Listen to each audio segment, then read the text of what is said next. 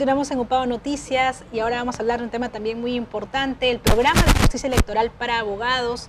Y tengo un invitado ilustre para conversar sobre ello, el magistrado y miembro titular del Pleno del Jurado Nacional de Elecciones, el doctor Willy Ramírez Chavarri. Bienvenido, doctor. Muy buenas tardes. Gracias por la invitación. Gracias a ustedes por estar aquí en Trujillo y en la UPAO específicamente. Sí, Cuéntenos. hemos llegado ayer, anoche, en realidad. Muy bien, caluroso Trujillo. Sí. Bien. Eh, eh, este programa de justicia electoral para abogados se da aquí en Lupao en base a un convenio que se ha firmado entre la universidad y el Jurado Nacional de Elecciones. Qué importantes son este tipo de, acuerdos para poder lograr cooperaciones que den muchos frutos. Sí, bueno, en realidad ya son 27 convenios con universidades, estamos hablando de cerca de 22 con universidades públicas, 5 eh, con universidades, universidades privadas, y en el caso de UPAO, que nos ha abierto las puertas, eh, es el primer programa descentralizado.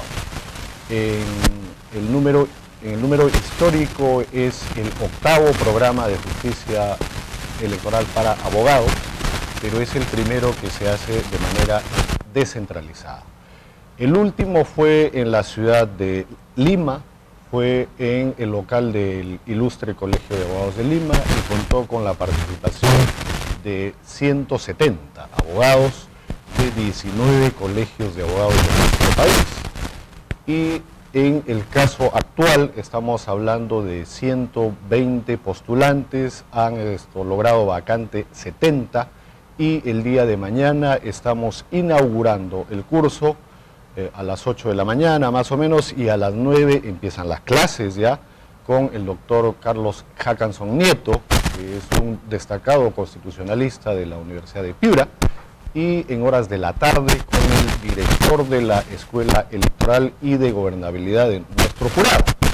Esto, esto es algo que hay que reconocer y que hay que resaltar. ¿no? ¿Por qué?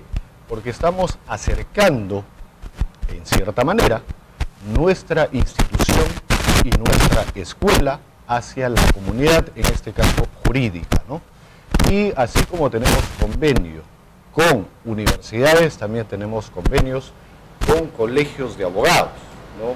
con la Junta de Decanos de los colegios de abogados del Perú, por ejemplo, está ya para la firma el convenio, sino que ha habido el cambio de presidente, y con el Colegio de Abogados de Lima, con el Colegio de Abogados de Arequipa también está para la firma, el de la Libertad está para la firma, Lima Sur, Lima Este, Callao también está para la firma, y hay un importantísimo convenio que vale la pena resaltar, con el Colegio de Periodistas del Perú, que ya hemos también elaborado un importante programa, que es el de legislación electoral para periodistas, que lo vamos a dictar desde la ciudad de Lima y va a ser en formato híbrido para todos los periodistas del Perú, porque es bueno que se vaya conociendo y que se vaya difundiendo también toda la legislación pertinente y que se conozca porque han aparecido pues una serie de fake news en algunos casos y no necesariamente los profesionales del periodismo y de las ciencias de la comunicación manejan la legislación, en este caso electoral. Entonces vamos a acercarnos también por medio del Colegio de Periodistas a todos los profesionales colegiados de las comunicaciones en nuestro país. Y de la misma manera estamos también elaborando otro programa especial para los periodistas que no estén colegiados. Estoy hablando de la Federación de Periodistas del Perú. Ese sí es otro tipo de programa porque no necesariamente son profesionales de las ciencias de la comunicación. Es decir, estamos llegando a todos los colectivos, ¿no? para que nos puedan contribuir o puedan colaborar en la difusión de lo que yo le llamo la cultura electoral que tanta falta hace en nuestro país. Muchas veces por desconocimiento se cree que las instituciones y sus autoridades actúan mal, pero en realidad es la persona o el usuario que por no seguir lo que la norma dice, muchas veces comete errores. lo comentaba hace unos instantes en la radio también de esta universidad, que los personeros, por ejemplo, de las organizaciones políticas no acuden a todas las capacitaciones que nuestra institución realiza.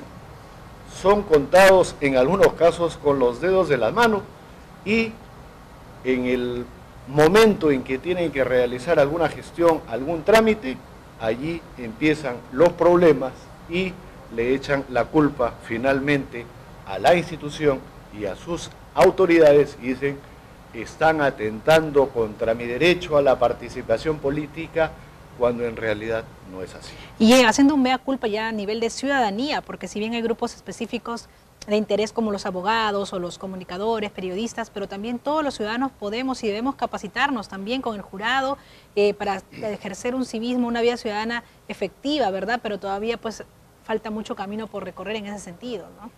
Pero sorprendentemente, señorita, mire, hay mucho más interés de la ciudadanía que de la clase dirigencial, le voy a llamar así, de las organizaciones políticas cuando los primeros llamados deberían ser los dirigentes de las organizaciones políticas, porque son ellos los primeros que deberían cumplir lo que las reglas de la participación política señalan. ¿no? ¿Por qué? Porque uno como elector o como ciudadano que no forma parte de una organización política, bueno, necesita conocer lo básico, ¿no? Pero si yo soy personero de una organización política, debo conocer pues a detalle cuáles son mis obligaciones por lo menos y qué normas son las que debo cumplir, cuáles son los plazos. Por eso es que estamos en esta campaña de justicia electoral, por ejemplo, para los abogados, porque hay grandes problemas, por ejemplo, en cuanto a las inscripciones de los precandidatos, las inscripciones de los candidatos, las exclusiones, las tachas, las vacancias, las suspensiones, entre otras cosas.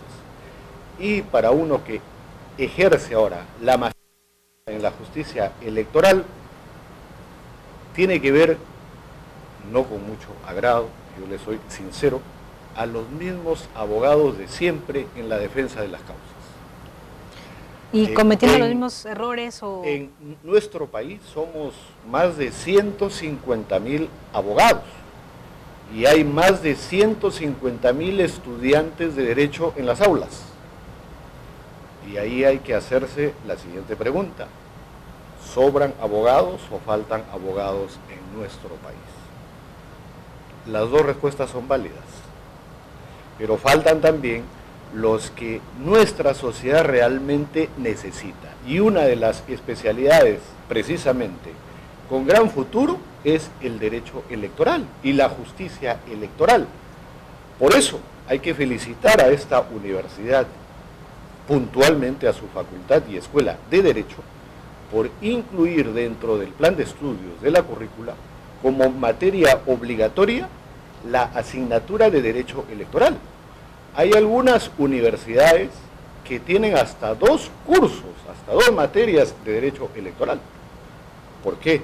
Porque hay una parte sustantiva, donde están los principios, las definiciones, y hay otra que es la parte adjetiva, ya que es la parte procesal. ¿Por qué? Porque en nuestro país hay una frondosa legislación electoral, que todo eso esperamos que en algún momento sea compilado o sea, recopilado en un código electoral que tanta falta nos hace, pero eso ya es un poco pues utópico por el momento al menos, pero sí hace falta la capacitación al menos y el ideal sería la especialización de nuestros colegas los abogados en esta importante nueva rama del derecho. ¿Se puede hacer una comparación entonces con la informalidad que se presenta en el país a nivel económico, la mayoría de las empresas son informales y también en los partidos políticos también están operando en esta informalidad. Habría que formalizarse, es decir, legalizarse, asumir esta mayor responsabilidad para poder conocer todas estas legislaciones que existen, esta legislación que existe y poder también agilizar los procesos electorales y que se den en el marco de la Constitución y de todas estas normas que ya existen y hay que aplicarlas, ¿no? Con el conocimiento previo. Sí, eh, bueno, los que ahora lo están haciendo bien y hay que reconocerlo, es, son las nuevas organizaciones políticas que se han inscrito, si bien la norma no lo establece, así hay algunas que se están reinscribiendo. Ojo, la norma no habla de reinscripción, pero al ser organizaciones políticas que perdieron la inscripción y están inscribiéndose de nuevo, en el lenguaje común se podría decir que es una reinscripción. Entonces, están ahora sí cumpliendo con todo lo que la norma dice. Entonces, ya ahora están haciendo las cosas como así lo establece la norma. Y ojo, no es el jurado quien da las leyes. Eso también es otro error por parte de las organizaciones políticas y por parte de la opinión pública, porque se cree que es el jurado el malo de la película. Quien da las leyes en un Estado, y en este caso el Estado peruano, es el Congreso de la República, es el poder legislativo. Entonces, son ellos quienes han dado todas estas normas que el jurado como ente autónomo constitucional está en la obligación de cumplir y hacerlas cumplir. Porque ¿qué pasaría si nosotros, como Jurado Nacional de Elecciones, no cumplimos ni hacemos cumplir la norma? Entonces, ahí lo que sí tenemos que hacer es reglamentarlo. Pero ningún reglamento puede ir en contra de lo que la ley dice. En los últimos tiempos ha estado criticándose, por ejemplo, el tema de las elecciones primarias. No es algo que se nos ocurrió como jurado, está en la ley tienen que haber elecciones primarias. En las dos últimas, ¿no? En las dos últimas elecciones hubo una norma que dijo que excepcionalmente se hacían elecciones internas. O sea, cada partido hacía al interior sus propias elecciones y enviaba su lista de candidatos. Pero eso era la excepción. Pero la norma rígida, digamos, la norma real es elecciones primarias. Eso no se le ocurrió al jurado. Hay una ley que así lo establece. Ahora, ¿el jurado tiene la culpa de que no se hayan adelantado las elecciones, por ejemplo? Tampoco. No. ¿Por qué? Porque la Constitución dice que las elecciones son cada cinco años. ¿Quién puede cambiar lo que la Constitución dice? El Congreso de la República. Ya sabemos cómo. Ahí, ahí ya se soluciona el tema. Tampoco el Ejecutivo tiene que convocar a elecciones. Recién ahí es que el sistema electoral, Jurado Nacional de Elecciones, Oficina Nacional de Procesos Electorales, RENIC, empieza a hacer su trabajo.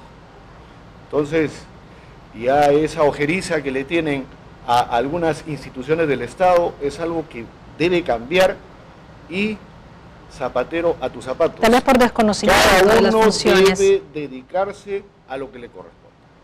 En la información es poder, como se dice, ¿no? Y puede también agilizar todo, eliminar burocracias y también lograr que los ciudadanos trabajen de manera mancomunada con todas las instituciones. Pues, ¿no? Al final nos sabemos todos los ciudadanos, todos somos moradores del Perú y tenemos que trabajar a beneficio de él. ¿Y cuáles son los retos que tiene el Jurado Nacional de Elecciones con este programa de justicia de Mesia que tienen esta campaña para ampliar, para dar a conocer, para sobre todo los abogados, los comunicadores, la ciudadanía que está activa, me menciona voluntariados también que tienen. ¿Cuáles son los retos para que eh, dentro de sus funciones el jurado logre pues tener una mayor ascendencia en la vida ciudadana, en la vida peruana y también pueda llegar a, toda la gente, ¿no? a todas las personas, no solamente bueno, en los procesos electorales. Bueno, es la, la consolidación de la vida democrática en nuestra sociedad peruana. ¿no? Eso, eso es el objetivo final. Pero para ello hay que afianzar la cultura electoral, por ejemplo, en nuestro país. Y dentro de la cultura electoral está el derecho electoral. Y como parte, ¿no? O al lado del derecho electoral está la justicia electoral. Y necesariamente los profesionales del derecho tenemos que estar capacitados en estos temas y el llamado o la invocación a todas las organizaciones políticas, y cuando hablo de organizaciones políticas me refiero a los partidos políticos y a los movimientos regionales, para que muestren su interés y se capaciten. Nuestro jurado tiene una serie de programas, eventos, información valiosa en nuestro portal.